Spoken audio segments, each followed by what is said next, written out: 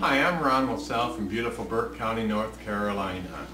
I was diagnosed with stage 4 esophageal cancer in September of 2009 and I had three rounds of chemotherapy and in November of 2009 I had a CT scan halfway through my chemo uh, regimen and we weren't really too satisfied with the results so we stopped the chemo and I decided that uh, I'll just seek some alternative treatments. And I've been doing many, many alternative treatments, uh, including IV, vitamin C, um, all kinds of supplements, some chelation therapy, and uh, improving my um, um, faith and trust in God, and uh, you name it. I've just about tried it. I even injected myself with gold nanoparticles and uh, built a radio wave machine and uh, burned some cancer cells. Now I had two walnut-sized lymph nodes on my neck here, and when I did the radio wave treatments, they went down to smaller than peas. Um, now I, I just purchased a diathermy machine, and I have been ingesting uh, colloidal silver. Now, I've been doing three tablespoons a day, and then with this diathermy machine, I make sure I don't have any metal on. I go ahead and, and power it up. It's a microwave um, radio wave.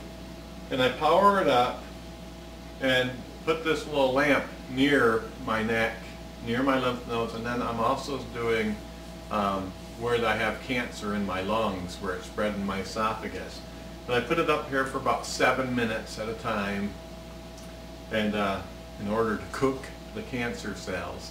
You know, with the radio wave, the idea was is the nanoparticles would go into my cancer cells and uh, then I'd use the radio waves to cook the cancer. And then this is pretty much something that I just um, added to the mixture. It's really, um, you know, I'm not quite sure if it if it's working or not. I do believe it is. I like to believe that anyway.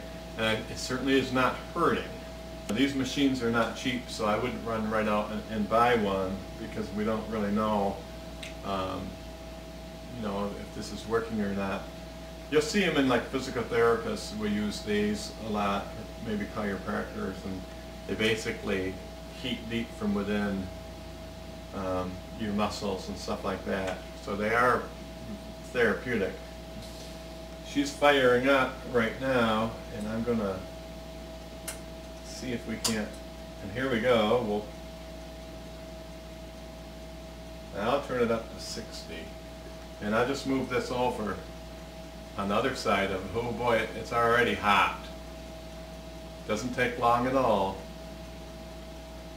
It does feel good.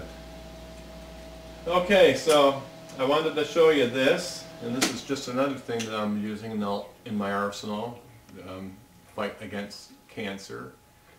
So, I hope this is, has been helpful to you. And if anybody else is doing this or knows of anyone that's doing this, um, let me know on how it's working. We can spread the word around. So from beautiful Burke County, North Carolina, I'm Ron LaSalle signing up, fighting cancer.